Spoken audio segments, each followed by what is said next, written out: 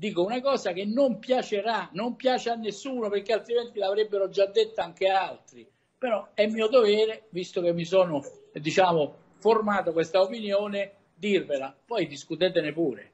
Perché le scuole italiane sono più chiuse delle scuole degli altri paesi europei, a parte la pandemia o anche con la pandemia?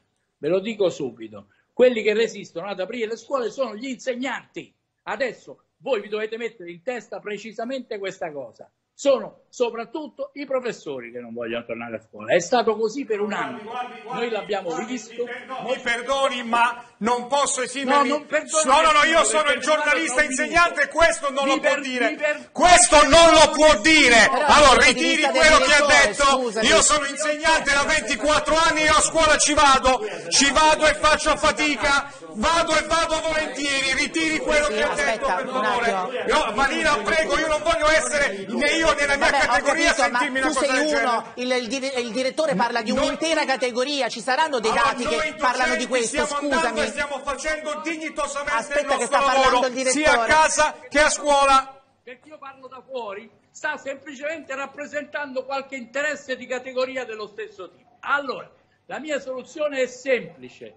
Vacciniamo subito tutti gli, vacciniamo subito tutti gli insegnanti il prima possibile. Dottore, io domani, domani mattina vado, Aspetta, domani mattina aspetta, vado a vaccinarmi, è la prima vaccinazione, la prima boccettina. Insegnanti, sindacati degli insegnanti, rappresentanti degli insegnanti di tenere le scuole chiuse, spesso contro il volere dei genitori e pure dei ragazzi. Ora c'è la pandemia, ora c'è l'emergenza, teniamo le scuole chiuse per la salute. Ma appena è possibile, come è stato l'anno scorso, abbiamo ritardato e perso giorni e giorni di scuola perché gli insegnanti non volevano riaprire a giugno, a luglio. Noi potevamo stare aperti e possiamo stare aperti e possiamo stare aperti adesso anche fino al 31 luglio e chi dice di no sono gli insegnanti. Rendetevi conto che è una categoria di persone che ha preso sempre lo stipendio per un anno a Io lo differenza di stipendio me lo sono guadagnato con titolo di studio, lei non può dire questo, lei non può dire questo, ne ho tre di laurea, chiedo a lei quanto ha. che a parità di condizioni di rischio che hanno i ferrovieri, che hanno i postini, che hanno gli autisti del tram, che stanno andando a lavorare tutti i giorni,